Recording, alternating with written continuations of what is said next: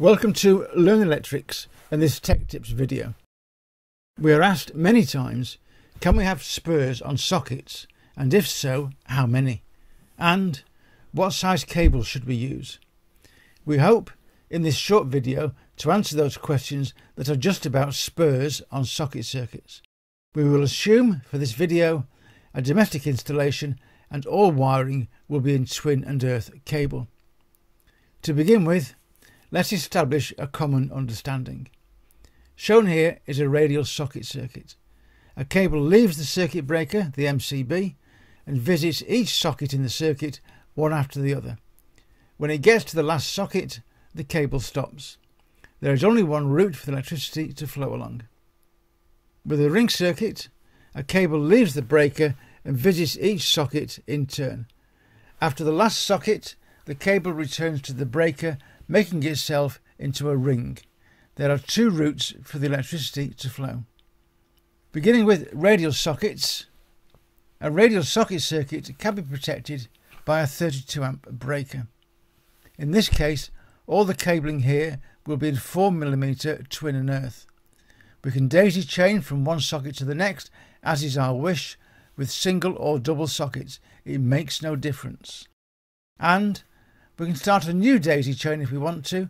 We can have any arrangement of sockets that we wish. The only proviso is that for a 32 amp breaker, all the cabling should be at least 4mm cross-sectional area.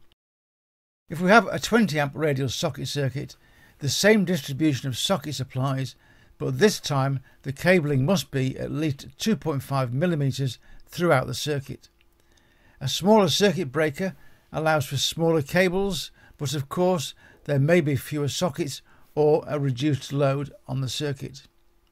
If we introduce a 13 amp FCU, a fused connection unit, into the 32 amp circuit, we can reduce the cable size after the FCU.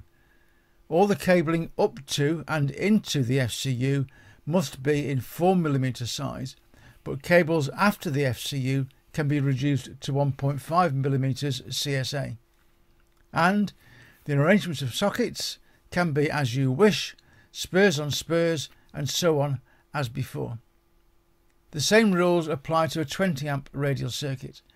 Everything before the 13 amp FCU should be 2.5 millimeter, and everything afterwards can be 1.5 millimeters.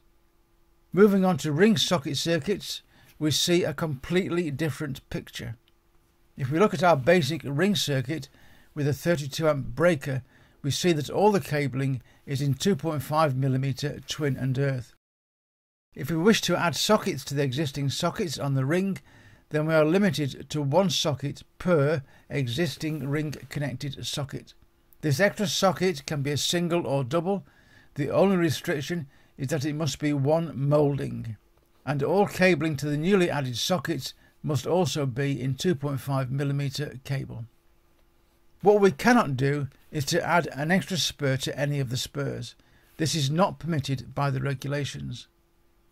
If we want to add several extra sockets at a particular point in the circuit, for instance into a newly built patio, then we can do this by adding a 13 amp FCU to the ring. The cables to the FCU must be 2.5 millimeter. The cables after can be 1.5 millimeter, and the distribution of sockets after the FCU can be in any pattern to suit you. There can be spurs on spurs as you wish because you cannot load the cable above the 13 amp fuse in the FCU. Hopefully this short video has helped with understanding what we can and can't do in relation to sockets and it is summarised here in this table. I do hope it helps. We hope that you found this video from Learn the Electrics both useful and enjoyable.